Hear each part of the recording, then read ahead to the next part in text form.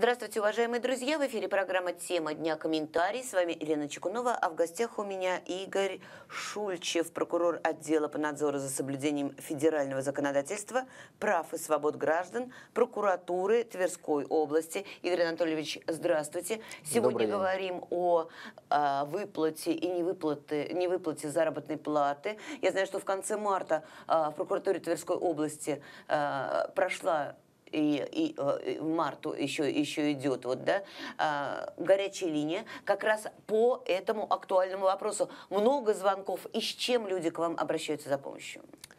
Да, э, спасибо. Действительно, э, горячая линия проходила, поступало довольно-таки весомое количество звонков. Каждый день люди звонили, обращались э, по вопросам э, неполной или несвоевременной э, выплаты заработной платы. По каждому случаю, естественно, организованы соответствующие проверки э, в целях установления обстоятельств, э, установления факта, действительно ли имелись нарушения закона или таких нарушений закона не имелись. Вот. Э, органы прокуратуры в данной части э, пользуются, э, люди пользуются доверием к прокуратуре, да, то есть э, в этом вопросе. Но также, помимо этого, помимо того, что можно обратиться в прокуратуру... Да, помимо прокуратуры Да, помимо еще? прокуратуры, есть, естественно, здесь Государственная инспекция труда в Тверской области, которая занимается непосредственно надзором, контролем в сфере э, трудовых прав граждан, это в том числе и оплата труда. Поэтому вот мы с, с этим органом работаем, скажем так, в постоянном взаимодействии, в по направлению э, оплаты труда. Э, сейчас э, мы в России переживаем не лучшие экономические времена, а применены против России жесткие экономические санкции. Что ожидать в этой ситуации? У нас же много на территории Верхневолжья, Верхневолжья предприятий, которые, владельцы которых иностранцы. Да, слушайте, что касается организаций, э, иностранных организаций, осуществляющих деятельность на территории Тверской области, либо организаций, которые имеют долю в уставном капитале да, э, иностранных, иностранных государств, либо же, может быть, чья деятельность связана, непосредственно связана с деятельностью иностранных государств. Вот в нынешней обстановке, что говорится, как, как говорится, эта ситуация очень сложно предсказуема, потому что это зависит от внешних внешне э, экономических, внешних э, политических факторов. Да, но, тем не менее, можно, можно предвидеть. Да, при, но при этом э, в органами прокуратуры сейчас проводится колоссальная работа, направленная на проведение постоянного мониторинга, на анализа ситуации.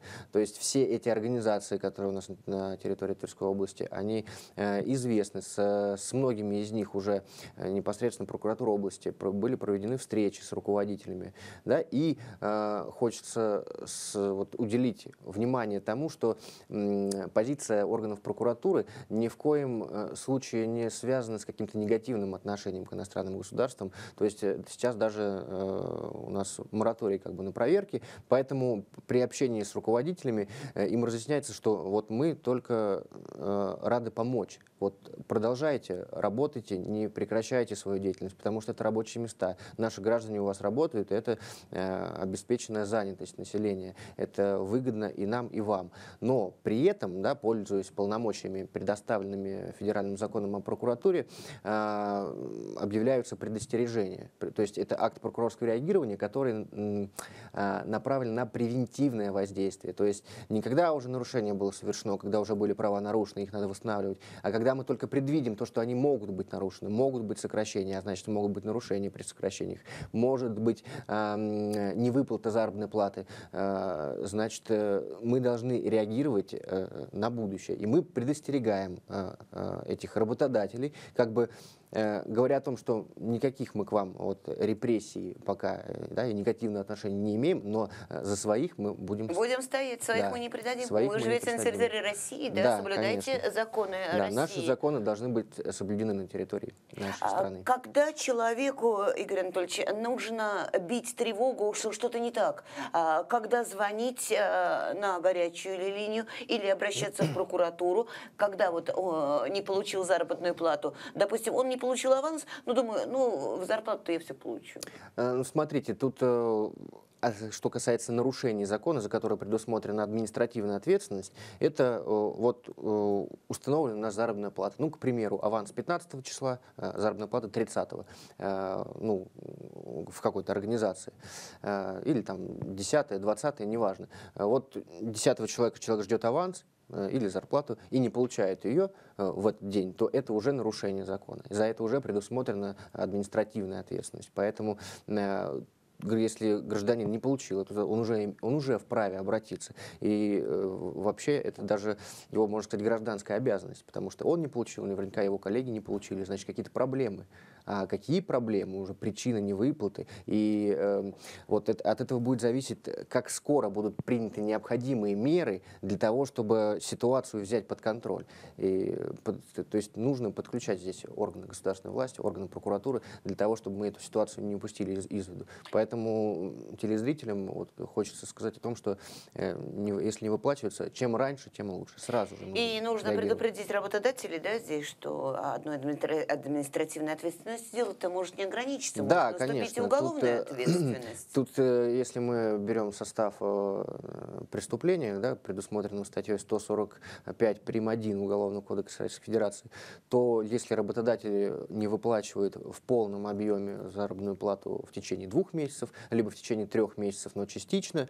При этом э, в ходе проверок устанавливается, что э, причина невыплаты была личная или иная заинтересованность такого работодателя, э, то за это предусмотрена уголовная ответственность, которая у нас варьируется от Э, до пяти лет лишения свободы. То есть преступление средней тяжести. Вы выходите э, на проверку по каждому сообщению, по каждому тревожному звонку, да, и досконально изучаете, вот, коль вы сказали, да, изучаются все документы, Изуч... которые потом могут Проверяются все доводы, конечно. Вот э, если у нас заявитель обращается, пишет нам письменно или говорит о том, что вот э, мне не выплачена зарплата э, там, за январь там, 2020 или 2021 года. Естественно, то есть, может быть, здесь нет необходимости проверять там все, но э, учитывая, что это довольно-таки э, первостепенное направление деятельности, вот, как он сказал, в январе не выплачено, мы проверим, что выплатили ли ему в январе, и если там все выплачено, мы остальные месяцы тоже посмотрим.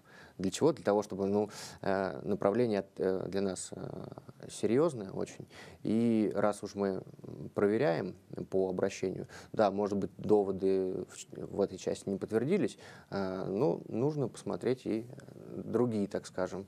Э, вдруг э, другому работнику на этом предприятии не заплатили. Ну или да, так да, далее. да. Но, кстати, уголовная ответственность та же самая, это же не самоцель, если человек заплатил, главное, чтобы зарплату выплатили. Вот тут законодатель да, в Уголовном кодексе, введя вот это вот примечание к статье о том, что лицо может быть освобождено от уголовной ответственности в случае, если в течение двух месяцев после возбуждения уголовного дела полностью э, э, оплатил труд, ну, то есть выплатил задолженность по зарплате, и э, также нужно иметь в виду не только задолженность, но и компенсацию, потому что за невыплату заработной платы в срок предусмотрена да, определенная компенсация. Вот если работодатель это делает, то он освобождается от уголовной ответственности, может быть освобожден от уголовной ответственности. То есть для чего эта норма вообще введена? Для того, чтобы как бы законодатель дает понять, да, вы э, недобросовестный, плохой, вот нам очень хочется вас наказать, но гораздо важнее для нас, чтобы да. права работников были восстановлены. Это гораздо важнее. Именно поэтому эта норма и введена. И я хочу сказать телезрителям, что и такая работа приносит результат. Если взять результат э, работы э, за 2021 год, на 80 с чем-то миллионов рублей была сокращена такая задолженность благодаря сотрудникам прокуратуры. Да, мерами прокурорского реагирования в 2021 году по порядка более 80 миллионов рублей задолженности по заработной плате было погашено. Это значит, что есть смысл обращаться. А, ваши пожелания жителям региона? А, мои пожелания жителям региона быть бдительными, а, не бояться обращаться в органы прокуратуры, а, самому также внимательно следить за соблюдением ваших трудовых прав, за, оформление, за надлежащим оформлением трудовых договоров при трудоустройстве и по каждому нарушению обращаться в Государственную инспекцию труда, в органы прокуратуры Российской Федерации, Тверской области, чтобы были проведены соответствующие проверки. Спасибо огромное вам за разъяснение по очень важному вопросу. А вам, уважаемые друзья, напоминаю, что никакие чрезвычайные ситуации, бедствия или угрозы не должны влиять на выплату заработной платы. Получение заработной платы – это ваше право, так как право работодателя выплачивать вовремя и своевременно, и в полном объеме эту заработную плату. А, будьте здоровы, э, благополучно переживайте тяжелые времена, все будет хорошо. До свидания.